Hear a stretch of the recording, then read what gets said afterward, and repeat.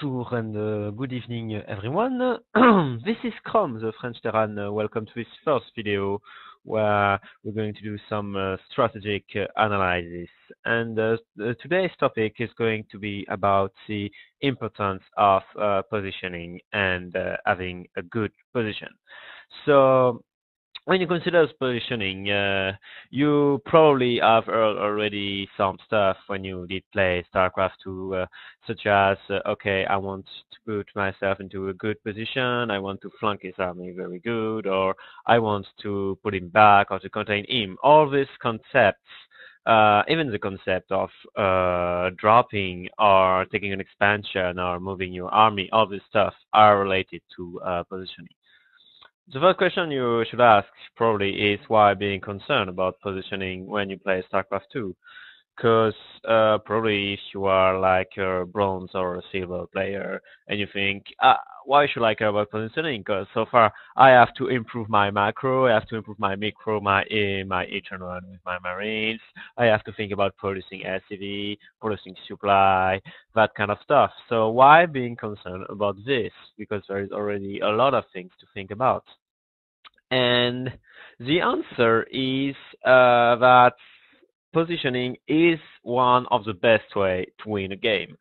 Because if you are into a bad position, if you're taking a bad fight, or if you completely uh, out of range of your enemy's army and you lose all your buildings pretty silly in a silly way, uh, you will understand that positioning truly matter. Of course, there are other stuff such as the tech choice or the timings, or um, having uh, having a multi good multitasking, having a good micro. But today we're going to focus on the importance uh, of uh, having a good position, right? So what does it mean having a good position? I've been saying a lot of stuff about drops, uh, about uh, being uh, aware of your enemy's army, but in details, what does it mean positioning?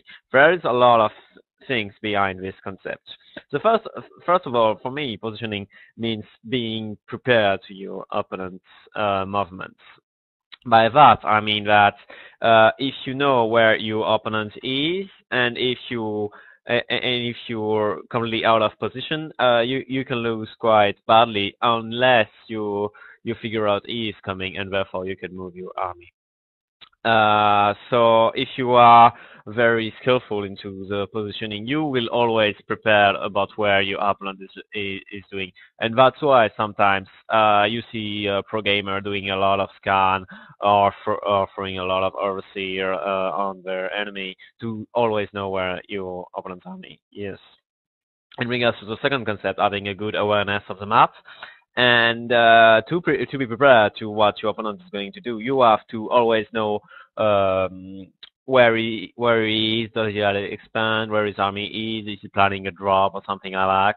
And a good player in StarCraft 2 is always uh, aware of the importance of having a good map control, of always scanning your army. But here we're not talking only about scanning uh, scanning your uh, your opponent tech or uh, be aware of what if drops are coming, but more generally knowing what's going on, the map, if you can move forward, if you have to go back, that kind of things.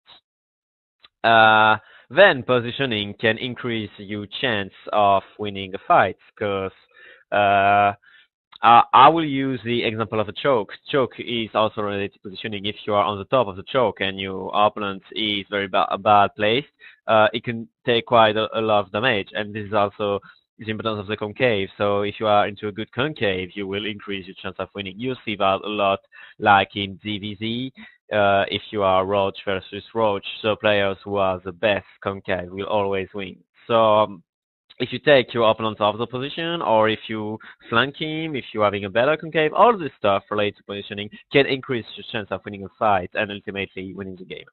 And finally, uh, if you are into a good position, uh, if you are well placed uh, on the map, uh, and you're able to put some pressure on your army, on your opponent's army, uh, by some kind of pressure, by some kind of drops, that kind of things, uh, it allows you also to be safe, because as long as you're into a very good position, if you're putting some some contain, you'll be able to expand more safely.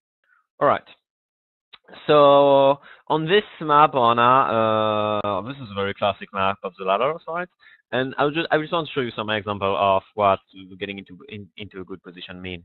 So um, a very bad position, uh, if you assume that you are on B1, B2, and B3, will be obviously to have your army around here, because uh, it, it's pointless. It doesn't defend anything, and your opponents can quite easily get into your B2, your B1, or doing some drops right here, and your army will take a very long time to go back.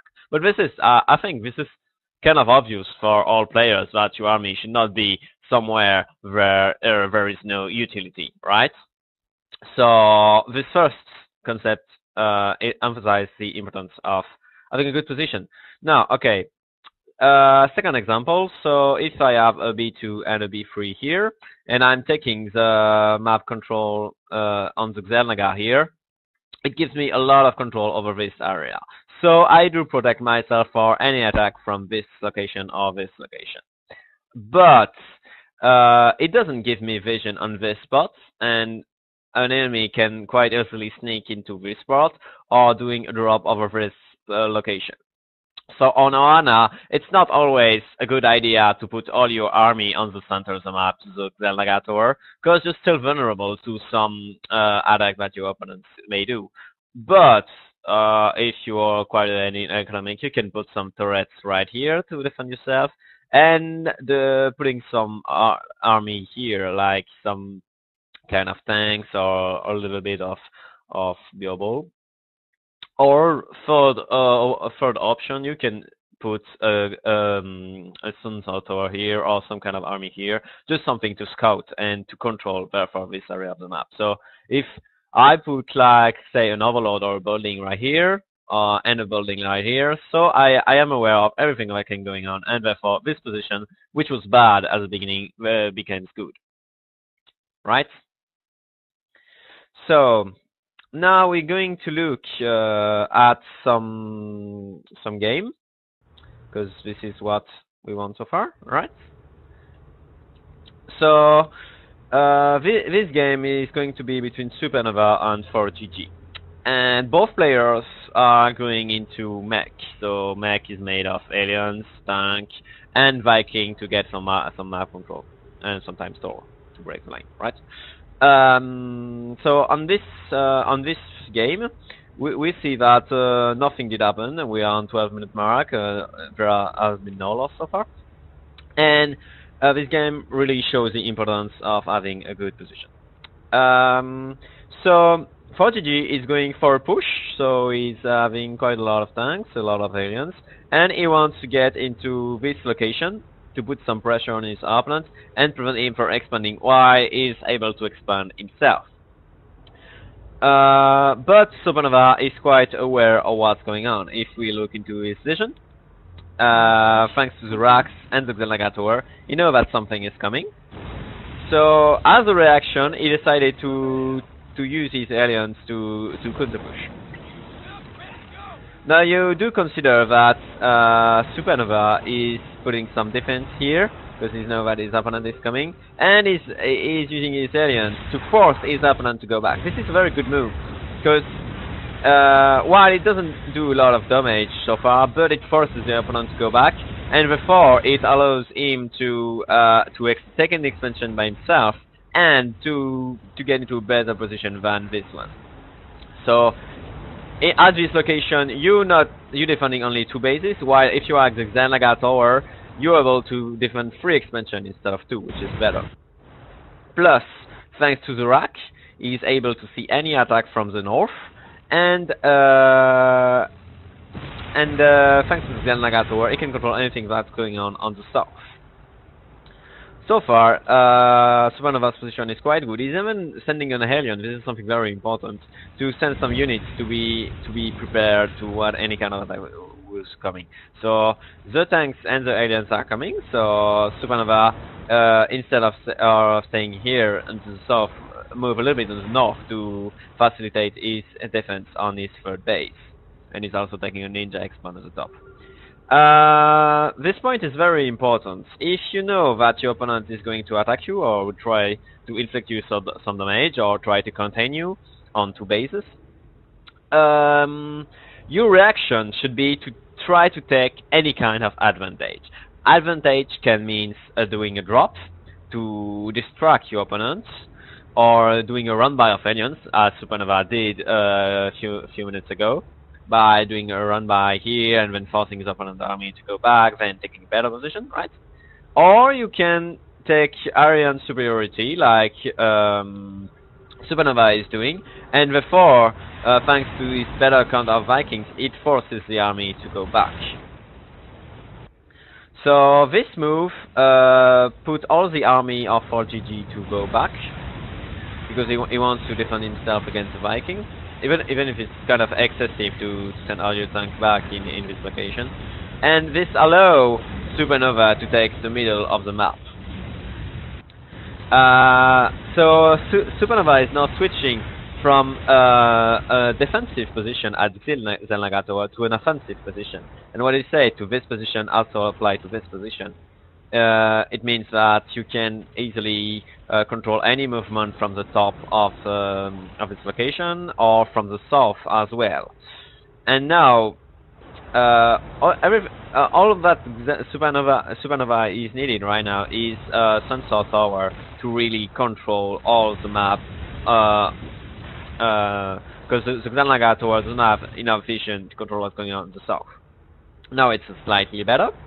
And uh, ForGG on the other end to break his contain can only go to the south, because this is the only location which is quite unscouted. But uh, is quite aware of his weak points, so instead of getting into a direct fight with uh, ForGG, he only has to do to move his army to this location. Now imagine that if 4GG uh, would have moved to this location and Supernova did not the sensor tower or was not aware of the, this army or didn't have any intel to to know what's going on, his army will have slightly and subtly uh, going to this location and then uh, getting into his B2 and B4 and stopping any any um, any troops to to reinforce uh, Supernova's army. So Supernova will cut it off, and we and uh, he would have forced the fight, and it would have been to the advantage of ForGG. Unfortunately for ForGG, uh, Supernova did scout him, so he has to go back and find another uh, opportunity to fight. But now the contain is quite good from Supernova because he's having a, a, pretty great line of tank, which prevent any attack, uh, any frontal attack. And ForGG, as you can see, is trying to find a backdoor to break his uh, opponent. Always do this when you're under contain. Find a backdoor, find an opportunity, do a drop, or uh, find a weak point to break the contain. So he's breaking the rocks because he's intending to push at this location because he thinks it's the weak point. So you, the the the, the line of tanks is quite dispersed. If he's going here, there is like 12 tanks we can attack him quite easily, while in this location there is only 4 plus some Hellions. But as you can see, uh, even if army uh, were even uh, at the at the beginning, so even slightly favoring Supernova, but not that much, so slightly even. Uh, because uh, he's taking a very bad engagement, his army is getting crushed quite fastly and quite easily. And plus, because he moved to the top of the, of the map with all his troops, the south is no longer protected, and this allows Supernova to do some damage to the economy. So if you break a contain, or if someone is breaking you, uh, you contain, you know that all his army is going to be used in this process. And on the other end, this uh, this may put some of your extents under protect. No, not no protected. Sorry. And then you have GG, right? So um, this first game did illustrate. Uh, quite quite uh, quite well uh, the importance of contain and um, the the importance of uh, knowing how to put yourself into a better position than you were. Alright, so now we are on another, another game, uh, TVP, uh, of, with uh, Empire Sioux versus Empire Beastie. And um, uh, what we're going to do now is uh, watching the positioning, not in a mech versus mech matchup, whereas positioning is quite obvious because you have line of tank versus li another line of tank, but in a more dynamic matchup, so in a Terran versus uh, Protoss. Here, which, which is more important, is not not not especially like keeping your army here to control the whole area, but more knowing when to attack and when to defend, and above all, like uh, really, re really be prepared to any any kind of movement your opponent is doing. So Beastie is having a pl is plus one plus one prepare. He got his stim pack and he's got his almost ready.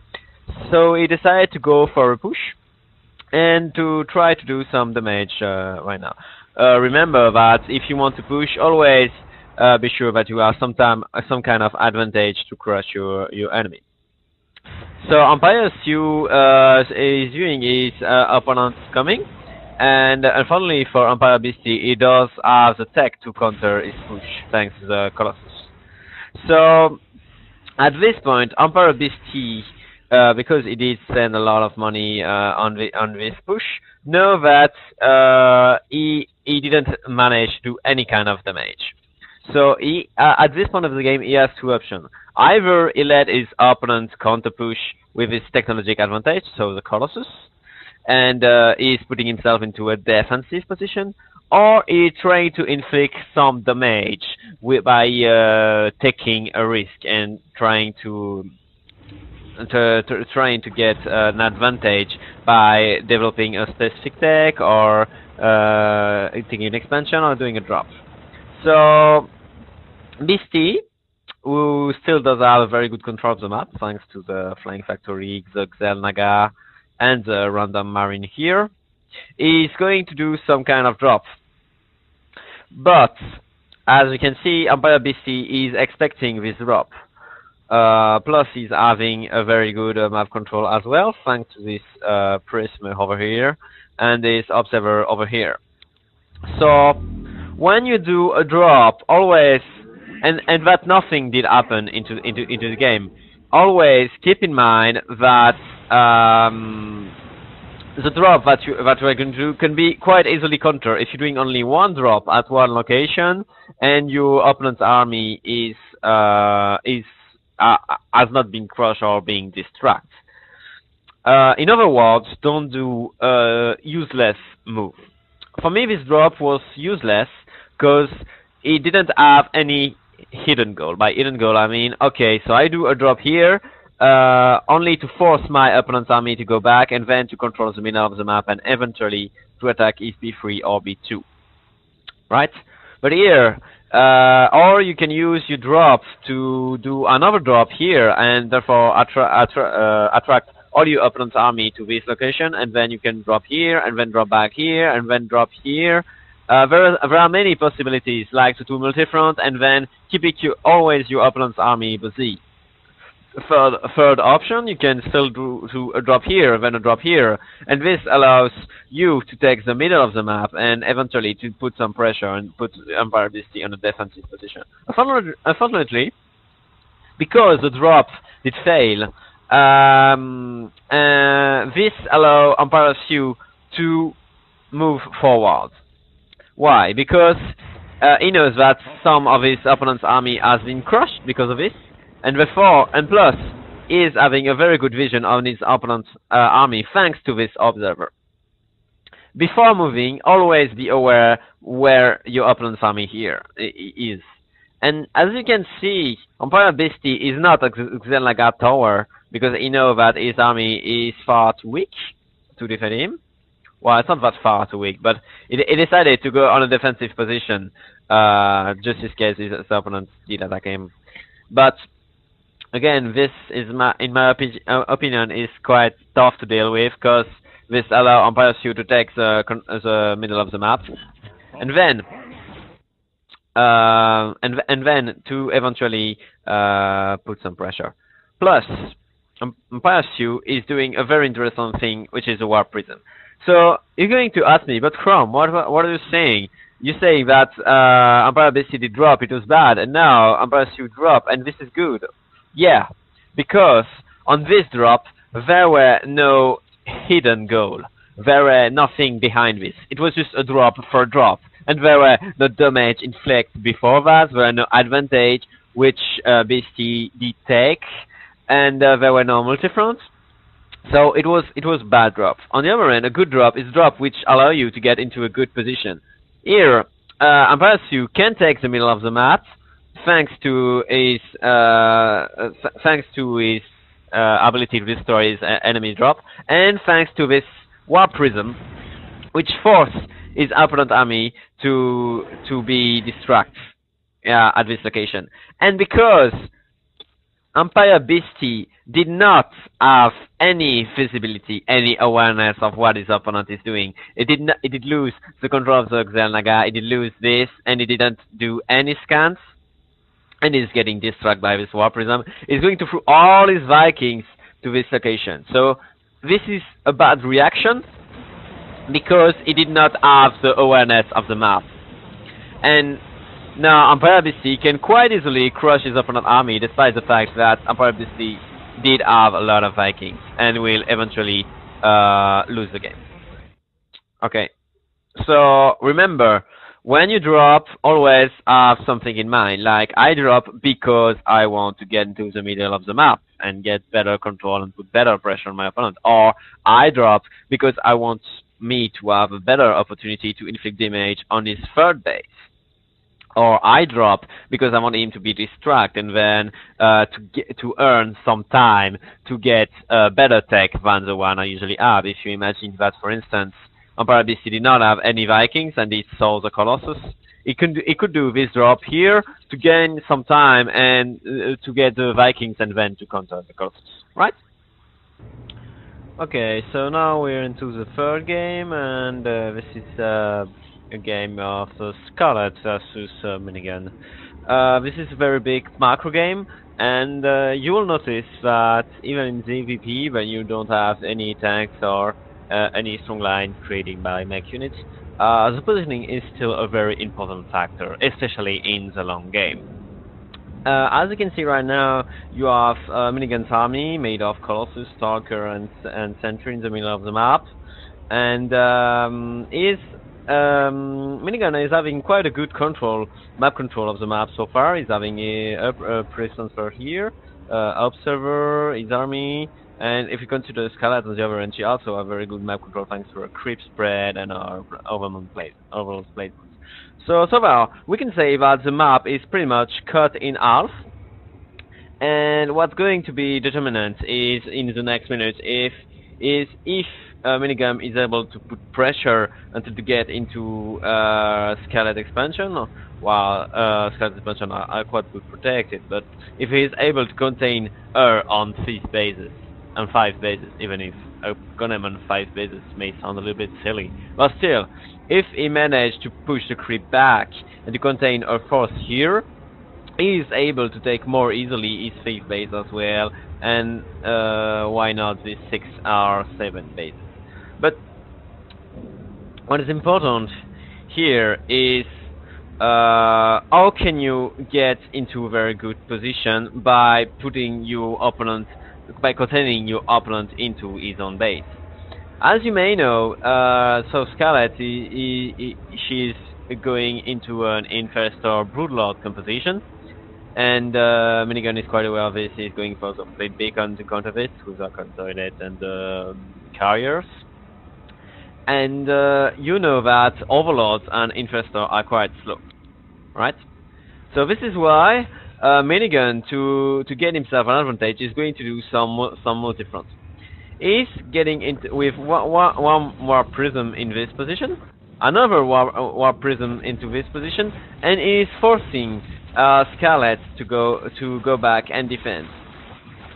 Because uh, Broodlord's army quite is quite slow, and uh, Scarlett only have some roaches and uh, Infestor to deal with it.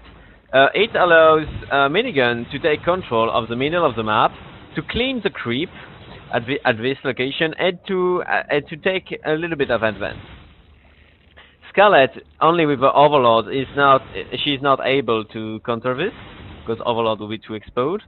And this allows Minigun to clean all the creep here thanks to this observer and therefore to defend ultimately all this expansion into this position. So what's what's what's very uh, important here is that uh, by warping units, by putting some pressure with your zealots, by cleaning the creep, you are getting yourself into better position. Three points are very important. Always hold the line on the middle of the map. Always keep pressure by creating some multi-fronts. And uh, more important, above all, always keep vision of the map. So, so far, Minigun is doing quite a good job by containing Scarlett into her bases, and uh, thanks to this, his, all his own bases are, are completely safe. So we're going to move a little bit further into the 22 minute mark to see that uh, despite a very good uh, job that Minigun is doing quite so far, it does not prevent Scarlett to attacking at some point. So this is quite a scary army made of uh, 14 Infestor, 14 Broodlords, and uh, some some Corruptor as well. And so far, uh, Minigun does not have the army to deal with this force. So the solution, when you know that your opponent is getting close to your base, you know that you know that this position does not allow him to attack you b4 and b5. So these bases are safe so far, as long as your army is here.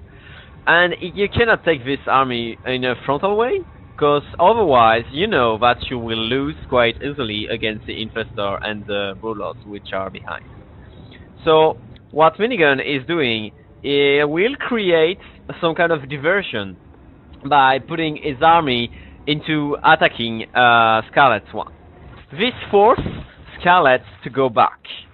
And this is a very important point.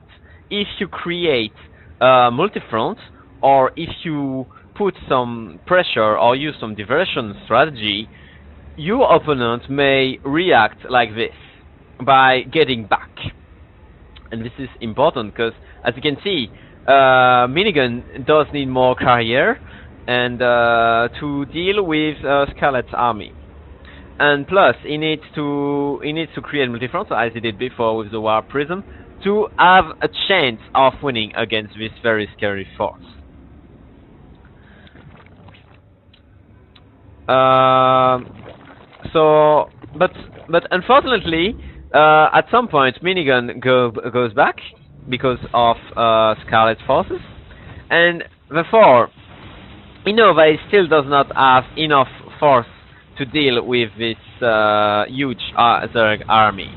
So instead of taking uh, a quite um, uh, an impossible fight to win, he has to go back. Why? Because if he would stay at this position, he will have the force to take the fight. So he's trying to go back as further as possible and to force Scarlett to go into some kind of a trap. So she is, she, he, Minigun is doing some kind of harass, killing some infestor, which is not a big deal. Is getting inside into defensive position, and then Scarlett has to extend a lot into the b4 of uh, mini of Minigun. And this position may be some kind of trap because Minigun can easily attack from the back and can uh, and can more easily defend against Alphos.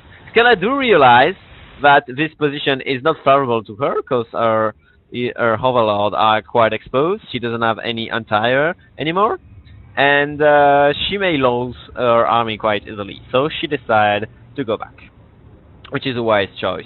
If your opponent is, is into a very defensive position like this one, like getting very back as, as before, instead of uh, of pushing forward and pushing forward un until you kill yourself and overextend, you could either just go back and keep defensive as Scarlett is doing and and capitalize on your advantage you have, or try to do some multi-front by attacking the B2 which is not defended, offering some uh, infest infestator and uh, offering some units at the B3. Alright, so now we're going uh, to move at the end of the game. So we're on the 32 minutes mark. And as you can see, uh, Scarlett did manage to keep his, uh, her position without getting back too Ferber. So she extended her creep a lot, and she is now putting some spine crawler uh, at, at, the, at the door of Minigun.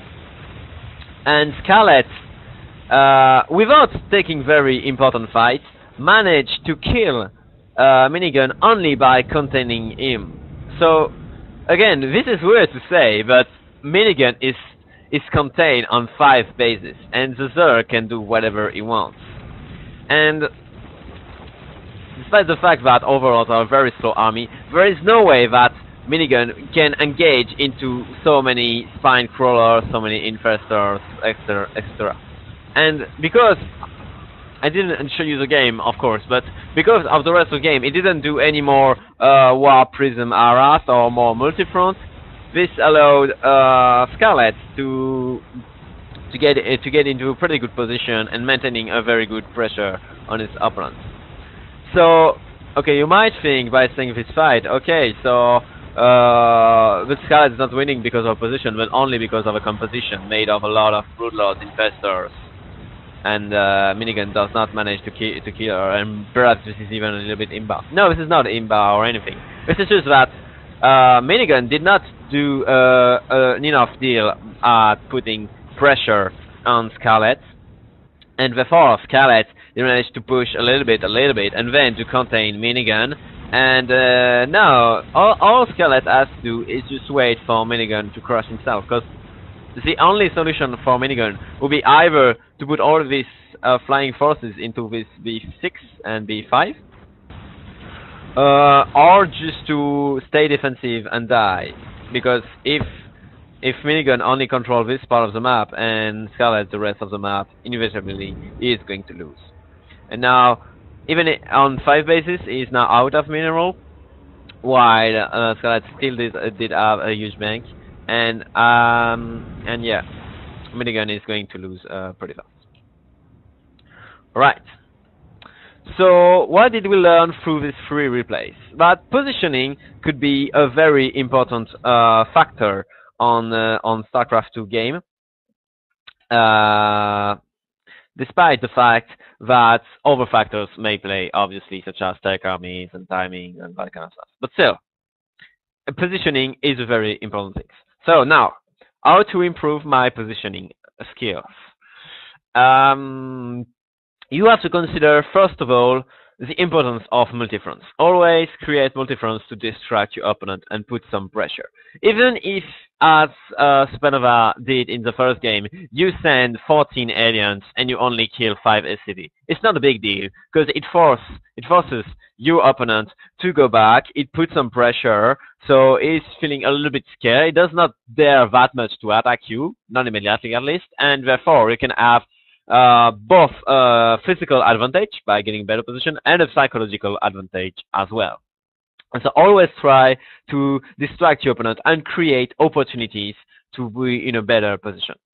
Then, very important, for all aspects of the game, improve your vision of the map. So you can you can use scans, you can use Overlord, you can send SCV. We did see that players were just putting one marine, one Hellion, one flying barracks, or creating more observers than usual. All of this is very important. Because if you see where your opponent is, therefore you can react appropriately and you can anticipate every any of his movements. So if you want to think into the game, okay, how can I improve my position? Always think by having better uh, knowledge of what your opponent is doing and by having a better vision of the, of the game. Uh, third point, don't let yourself contain, always try to put some pressure. So yeah, we did see that Minigun at some point, uh, after all his pushes with the Warp Prism, let himself contain at some point and let Scarlett attack him which was quite bad for him because he wasn't able to deal with this huge force of Broodlords and Infestors. And therefore, he should have kept putting the pressure by creating some multi-front, even by trying some base trade uh, tactics.